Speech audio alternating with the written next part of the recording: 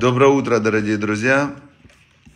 Всем доброе, добрейшее, веселейшее авское утро. Да, мы находимся канун Тишабаав.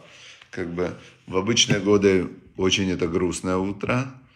Уже мы такие, вообще даже сейчас мы должны уменьшать радости. Но, но, сейчас э, шаббат, как все в жизни в этой, да, что все в жизни это э, все перемешано, полутона. Нет, к сожалению, такой ясности нету, где вот прям чисто черное, чисто белое. Ты шабав, а, а выпадает на субботу. В субботу мы должны радоваться. Ты шабав, разрушение двух храмов, а еще день рождения Машеха будет 9 ава. Все, все перемешано. Это есть известнейшая история, когда стояли несколько мудрецов, включая Раби Атива, стояли в Иерусалиме после разрушения храма, и они смотрели на то место, храмовая гора, все разрушено, храма нет, там все пожар, сгоревшее, вообще распаханное поле. И там, где была святая святых, выбегает лисица. И эти мудрецы начали плакать, рыдать, начали вообще, что как же вообще так может быть, что самое святое место в мире, сейчас тут вообще лисы живут, и разруха такая. А Раби Атива начал смеяться, начал он смеяться. Они говорят, чего ж ты смеешься-то? А он говорит, а что ж мне не смеяться? Если сбылось пророчество, что храм будет разрушен, значит будет, сбудется пророчество, что храм будет отстроен. Значит, я уже нахожусь в следующем этапе, что храм будет отстроен. И, то есть, сегодня вот то же самое примерно мы переживаем с 9 ава, что 9 ава выпадает на, саббат, на шаббат. И с одной стороны, с одной стороны, все так плохо, ну, как бы 9 ава мы должны скорбить, это самый скорбный день в году. А с другой стороны, шаббат, и можно в этот день, в шаббат, пить вино, значит, а, кушать мясо. Вот, вот такая вот история, да. Это я помню, у меня в субботу умер отец, захоронули враха, чтобы было вот этот урок ему лилуни шама для поднятия его души. И, значит, а, и он умер в субботу, ночью, в 6 утра. И по законам, что если умирает в субботу, нужно продолжать субботу, то есть нельзя его не хоронить, ничего нельзя делать в субботу. И вот он лежал в субботу, мы сделали в этом доме, надо было там кидуш сделать, ну, как бы сохранять все, а, все, с одной стороны, ты продолжаешь сохранять все законы субботы, а с другой стороны, мертвый человек лежит, отец лежит в комнате, значит, мертвый на полу, кладут на пол мертвого человека. Это было очень такое переживание не, ну, необычное такое вообще. И вот сегодня то же самое, только сегодня траур для еврейского народа и для всего мира траур, в принципе, разрушение храма, да, то есть это, это убрали из мира духовный Wi-Fi. Знаете как? Вот сейчас, например, в каком-то доме отключи Wi-Fi, все будут в трауре, все скажут, вау, как же мы жить-то будем-то без Wi-Fi, без интернета. А это отключили духовный Wi-Fi всему миру. И мир опустился после этого. Вот обратите внимание, так и называлось э, Средневековье, и называлось это Средневековье э, Темные века, по-моему, какое-то было название. Средневековье было, как же оно называлось? В общем, Средневековье это было самое страшное время такое в истории мира. А потом наступил, назвали это Ренессанс, каким-то словом таким, Ренессанс, после Средневековья вот этого вот темного времени – а потом, значит, Ренессанс, после этого наступила эпоха, эпоха, когда появился как раз вот хасидизм, это где-то 300 лет назад, 1700 год, 300 лет назад. И когда открылся как раз хасидизм, пошла после этого, пошел божественный свет в мир опять, и пошла после этого технологическая революция. Вдруг люди такие сказали, ой, а что же мы, как же мы без паровоза-то жили? Давайте паровозы сделаем. Сделали паровозы. Потом говорят, а как же мы-то без электричества-то всю жизнь в этих в темных средних веках сидели? Давай-ка электричество тоже сделаем. И пошло, то есть духовный рассвет, он стал началом, когда идет духовный свет, начинает после этого все становится понятно. И пошли открытия, пошли открытия, пошли открытия.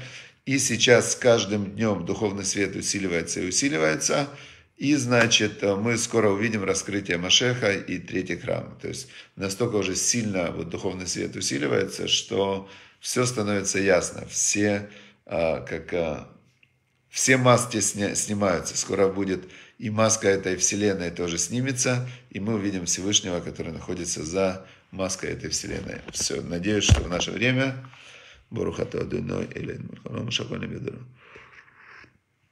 Отлично, теперь дальше. А мы, так как мы находимся в авангарде э, распространения духовного света, да, напомню, что Ваикра, платформа Ваикра, мы усилители, усилители вот этого Ваикра. А, значит, интересно, я узнал совершенно вот неожиданно, да, как первый раз слово Ваикра встречается в Торе. Вот обратите внимание, сейчас я вам покажу. Слово Ваикра, как встречается в Торе. Значит, оказывается, пятый отрывок книги Берешит, если вы откроете прям начало Торы, пятый отрывок, он начинается со слов «Ваикра Элоим Лаор Йом» и назвал, и назвал всесильный свет, назвал днем, Веляхоша кара лала, а темноту он назвал ночью. Вае эра вае ботер йом эхат. И был э, вечер, и было утро, день один. То есть слово ваекра это и, и сказал Бог свету, что свет будет днем.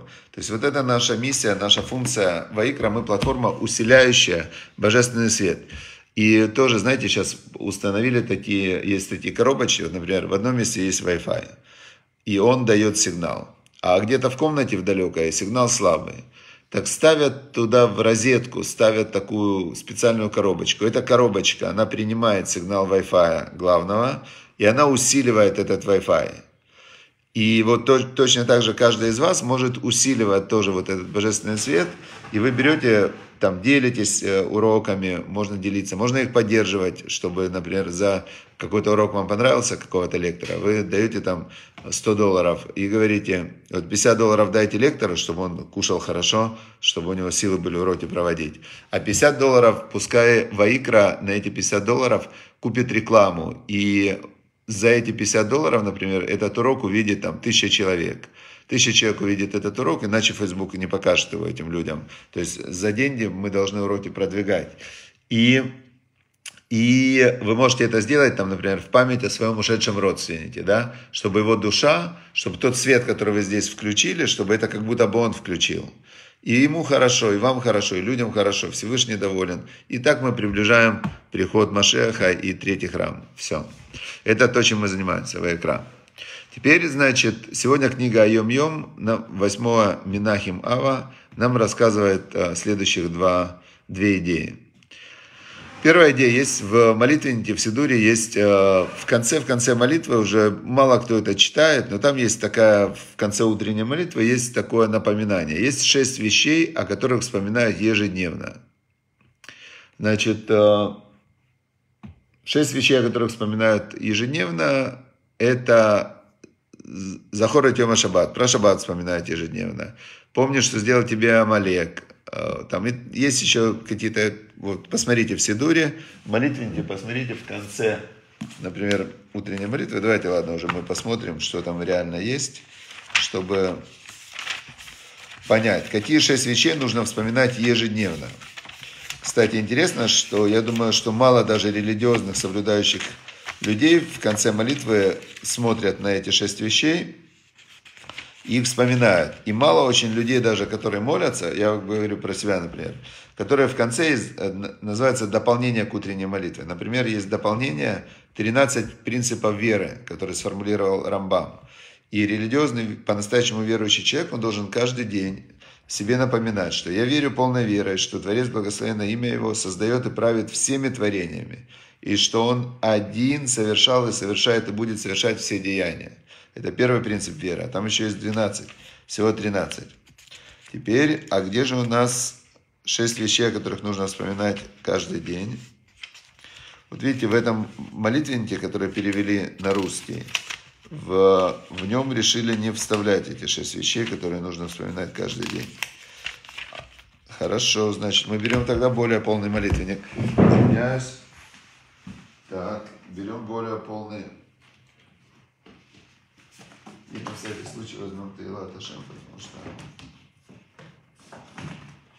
Так, видите, есть у меня сколько молитвенников. Вот это вот Аштинасти, полный молитвенник, э, это евреи, которые молятся по по системе аштинасских евреев, как когда-то молились евреи, которые ушли в Германию. А это вот молитвенник, который, по которому Нусак Ария Кадош. Это Нусак, по которому молится Хаббат. И называется он Нусах Ария Кадош. Там больше 20 лет э, после Альтера Рэба он собирал, собирал тут все дополнения к этому молитвеннику. Он вот сделал такой очень Нусах. И вот тут точно есть. Тут точно есть вот эти вот шесть вещей, которых нужно вспоминать ежедневно. Вот.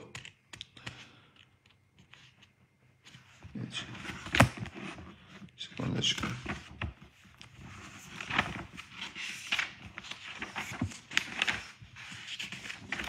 Шесть вещей, о которых нужно вспоминать. Видите? Давайте, кто помнит, например, может быть, Яша Шатадин сейчас, у него все это в памяти, может, он каждый день вспоминал, и он может нам написать, например. Он может нам написать, чтобы мы не искали. Может, кто-то знает шесть вещей, которых нужно вспоминать ежедневно. Это дополнение к молитве, поэтому я не помню. Так. Вот, шесть схерот. Нашел, смотрите. Шесть вещей, которые нужно вспоминать ежедневно. А, Значит, первое. Лиман тишкора тьем цитеха мерец мицраем коли ямехаека. Чтобы ты, в Торе написано, чтобы ты вспоминал, чтобы ты вспоминал э, день выхода твоего из Египта, все дни жизни твоей. Прям в, в Торе написано. Обязательно нужно это вспоминать. И написано, остерегайся очень и сохраняй свою душу очень. Вдруг ты забудешь те вещи, которые видели твои глаза, и что они уйдут из твоего сердца все дни жизни твоей, и ты должен их сообщить сыновьям своим и сыновьям сыновей своих. Тот день ты должен помнить, когда стоял ты перед Богом, всесильным твоем, Б. Хорев, при получении Торы. Это вторая вещь. Значит, нужно помнить день исхода из Египта, что был исход, было, было народ сидел в рабстве, вообще была безысходность такая вообще, и Всевышний вытащил народ. Второе, дал Тору, надо об этом помнить. Третье, Захор это Шарасалиха Амалек. Помнишь, что сделал тебе Амалек, когда ты выходил из Египта, который тебя в, напал на тебя в пути, значит, и он убивал слабых, которые шли сзади, и, а ты был уставший, ты был уставший и не боялся ты Бога. Э, значит, и было, когда спас Бог тебя от всех твоих врагов, которые были вокруг тебя, Помним Амалека. Вот из, помни Амалека, вспомни, что сделал тебе этот Амалек, и сотри память о нем из земли. То есть Амалека действительно евреи уничтожили, выполнили это задание. Но остались вот эти амалетитяне, они остались где-то, они растворились. Вот фашисты, например, да, чтобы стерлось их имя. А это были амалетитяне, да, то есть они уничтожали, убивали евреев, детей убивали. Полтора миллиона детей они убили жестоко. Это могли делать только потомки Амалека, которые были просто, у них ненависть такая, ну, прям была вложена в них, это антипод еврейского народа. И нужно всегда помнить, что они есть. Есть такие люди, чикатилы такие, которые именно настроены на то, чтобы убивать евреев. Но видите, слава Богу, что мы видим, что 3334 года прошло от исхода из Египта. И еврейский народ помнит, да, помнит и о исходе, и о даровании Торы, и о том, что сделал Амалек. Дальше. Захор, за, схор альтишках, помни и не забудь. Ашер икцавта это шемелокеха бамидбар. Помни, что ты гневал Бога Всесильного твоего в пустыне. Да, это, конечно, вспоминать не хочется, но мы должны это вспоминать каждый день, как еврейский народ.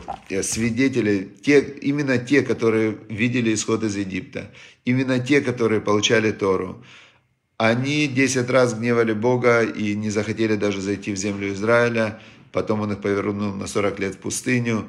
И это было, это было ужасно. И об этом надо помнить, что есть у, даже у человека, который, для которого Бог сделал все. Вот представьте себе, это, это были люди, которые были рабами, которые просто их уничтожали, убивали, там у них не было ничего своего, и 210 лет они были в рабстве.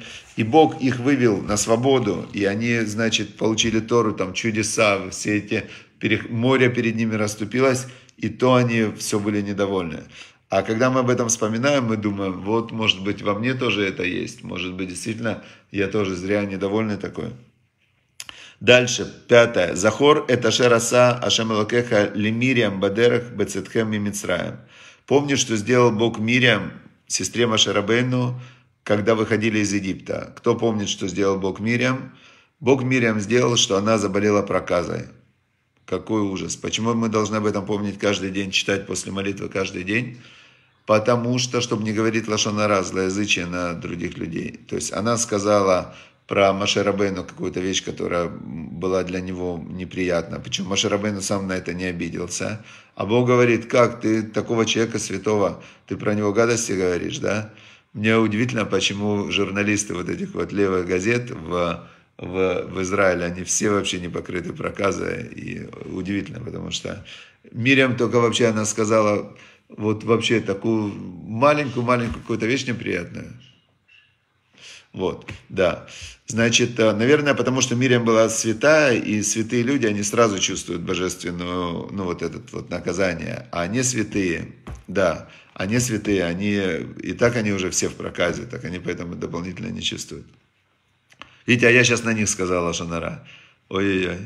Может, не надо было. Если бы я помнил, если бы я, представляете, если бы человек помнил, что, значит, э, что Бог э, сделал, сделал Мирием, да, каждый день вот утром бы вспомнить об этом, и тогда бы человек остерегался. А если бы все время помнить, быть осознанным, помнить эти шесть вещей, тогда будет вообще. Значит, э, и последнее, захорит йома шаббат ликатшо, помни день шаббатний, освящая его. Это то, что мы должны помнить, значит, освещать день шаббатний. Давайте еще раз, чтобы не забыть. День исхода из Египта, дарование Торы. Третье, это было что? Амалек. Четвертое, это что гневали вы Бога. Пятое, что сделал Мириам. И шестое, это помни день шаббатний. Надо, я Блинедер буду сейчас в ближайшую неделю читать, чтобы напоминать. Важно об этом помнить каждый день. Теперь пишет нам эта книга на сегодня, да, Айом-Йом. Шесть вещей, о которых вспоминают ежедневно, произносят также в субботу, праздники Рошашана и Йом-Кипур. Говорит нам Рэбе, то есть, может быть, ты думаешь, что в празднике не надо, или не надо в субботу эти шесть вещей помнить? Надо. То есть это настолько важно, что их надо помнить всегда, каждый день, включая праздники, субботу, Рошашна, Йом-Кипур. И нужно произносить эти, это в молитве. И, значит, э, вот видите, я например, не произносил. Но это очень важные вещи. То есть мышление человека так устроено, мы мир воспринимаем сквозь фильтры восприятия. И если, например, у тебя включено, вот активизированы вот эти шесть вещей, да, ты помнишь об этом. Вот так работает мир. Вот так Всевышний там, он специально это же сказал, помни об этом. Это же в Торе написано, помни. То есть там прям вот эти все отрывки, которые мы сейчас читали, это прям в письменной Торе, прям прямым текстом Бог сказал через Машерабейну, это важно, помни об этом. Если ты будешь об этом помнить, то тогда вся твоя жизнь изменится. Вся твоя жизнь будет идти сквозь призму вот этих вот э, фильтров восприятия, да, таких вот парадигм. И решения будут другими, восприятие будет другое, результаты будут другие. Все будет другим, если помнить об этих шести вещах. Дальше. Э, из высказывания Рэбе Рашаба. Был Рэбе Рашаб, это пятый рыбаческий Рэбе. Он говорил так. Чего стоит знание хасидизма и богобоязненность, если отсутствует главное – любовь к другому человеку, к другому еврею, к другому человеку.